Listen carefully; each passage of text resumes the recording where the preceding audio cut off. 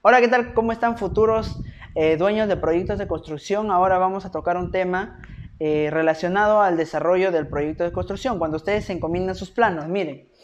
Elaboración del proyecto. ¿Cómo se empieza un proyecto de construcción? Ya les habíamos explicado, ahora nos vamos a centrar en la elaboración del mismo plano.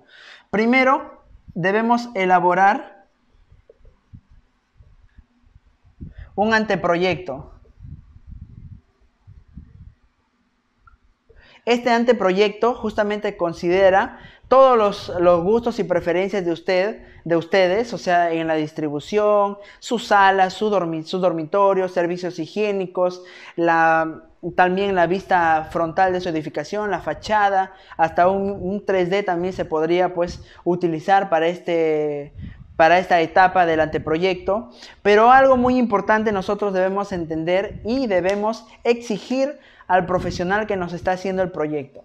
Que este anteproyecto debe estar estructurado. Eso es lo más importante. Quiere decir que en nuestro proyecto deben aparecer nuestras columnas, nuestras placas, el tamaño de nuestras vigas que nos está proyectando el, el, arquitecto o el profesional que nos está haciendo. De preferencia, esto tiene que hacerlo el arquitecto. El, arquitecto es un artista, es el profesional idóneo para hacer toda la distribución de los ambientes, de la sala, etcétera, ¿no?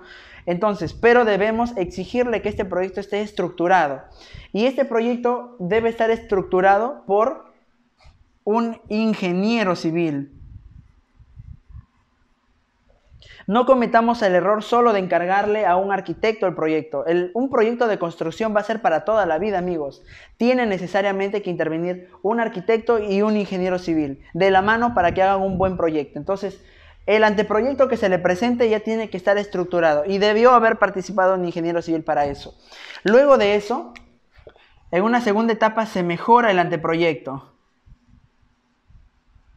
Significa que este anteproyecto se ha modificado en base a, sus gustos y preferencias y este esta mejora del proyecto ya se llama el proyecto arquitectónico definitivo.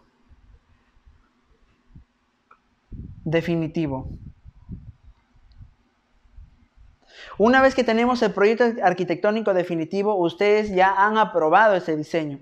Significa que este proyecto ya no va a sufrir cambios sustanciales o muy grandes para que justamente se pueda pues proceder a las siguientes etapas, ¿no? ¿Cuál es la siguiente etapa? La siguiente etapa es el desarrollo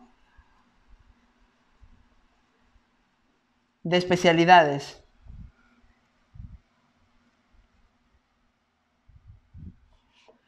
En el desarrollo de especialidades nosotros ya vemos el diseño estructural definitivo, el diseño de las instalaciones eléctricas, sanitarias, agua, gas, desagüe, etcétera, ¿no? justamente acá nosotros terminamos de hacer todos los planos. Eso es lo que quiero que entiendan. No, no hacemos eh, todos los planos solamente con el anteproyecto, ni tampoco deberíamos eh, pensar que el arquitecto es una caja negra, ¿no? Le encargamos el proyecto y simplemente nos entrega ya todos los planos sin que nos haya explicado nada. Justamente en el desarrollo del proyecto nosotros tenemos que presentar el anteproyecto, se define el anteproyecto, ustedes lo aprueban y luego recién nosotros hacemos el desarrollo de especialidades. Una vez que terminamos el desarrollo de especialidades, como un punto 4, recién hacemos el metrado de la obra